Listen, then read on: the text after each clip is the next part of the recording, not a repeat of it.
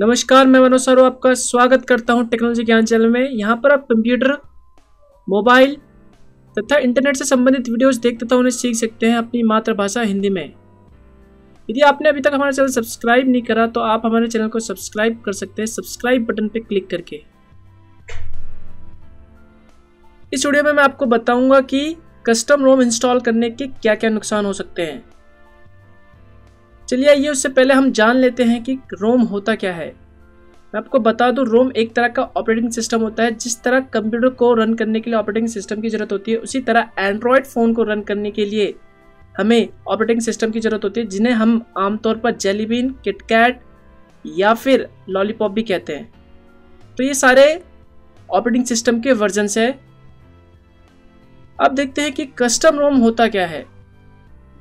जब हम रोम में कुछ चेंजेस करते हैं तो हम उसे कस्टम रोम कहते हैं। आमतौर पर ये चेंजेस डेवलपर द्वारा किए जाते हैं। जैसे कि आप अपने जेलीबिन में कुछ चेंजेस करना चाहते हैं, आप इसका इंटरफेस चेंज करना चाहते हैं, या फिर उसमें कुछ फ़ंक्शंस डालना चाहते हैं, अपने तरफ़ से ऐड करना चाहते हैं। या फिर आप किटकैट एंड्रॉयड में चेंजेस करना चाहते हैं, या फिर लॉलीपॉप में कुछ चेंजेस करना चाहते हैं तो हम इसे कस्टम रोम कहते हैं। आमतौर पर ये कस्टम रोम डेवलपर द्वारा बनाए जाते हैं। मैं आपको बता दूँ। चलिए अब बात करते हैं कि कस्टम रोम इंस्टॉल करने के क्या क्या नुकसान है। आमतौर पर लोग अपने एंड्रॉयड वर्जन को अपग्रेड करना चाहते हैं किटकैट में या फिर जिसके पास किटकैट हो तो वो अपने एंड्रॉयड डिवाइस को अपग्रेड करना चाहता है लॉलीपॉप में। कस्टम रोम के थ्रू लेकिन मैं आपको बता दूँ, अगर आप अपने एंड्रॉयड को अपग्रेड कर रहे हैं कस्टम रोम के थ्रू तो गलती से भी ना करें उस फ़ोन को कस्टम रोम से अपग्रेड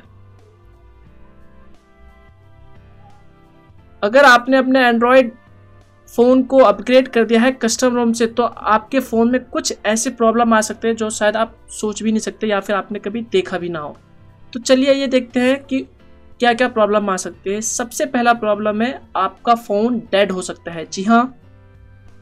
दूसरा टच काम ना करे। मोस्टली डेवलपर्स जो है फ़ोन के हिसाब से कस्टम रोम्स बनाते हैं तो मे भी ऐसा हो सकता है कि आपके फ़ोन में सपोर्ट ना करे वो कस्टम रोम तीसरा फ़ोन हीट प्रॉब्लम जी हाँ अगर आप कस्टम रोम इंस्टॉल करते हैं अपने फ़ोन में तो उसमें हीटिंग प्रॉब्लम हो सकती है।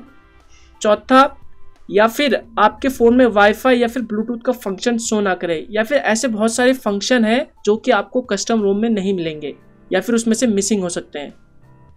तो इस वीडियो के लिए इतना ही बस। अगर आपको हमारा यूट्यूब वीडियो पसंद आया तो लाइक बटन पे क्लिक ज़रूर करें। आप हमें कमेंट करके भी बता सकते हैं कि आपको ये वीडियो कैसा लगा। या फिर आपको इस वीडियो से रिलेटेड कुछ भी डाउट्स हो तो आप हमारे कमेंट बॉक्स पे जाके हमें कमेंट कर सकते हैं। हम आपको 24 फोर आवर के अंदर रिप्लाई देंगे। आप हमारे चैनल को सब्सक्राइब भी कर सकते हैं और नए वीडियोस अपलोड होने पर उनकी जानकारी पा सकते हैं। तब तक के लिए देखते रहिए और सीखते रहिए टेक्नोलॉजी ज्ञान। Good bye.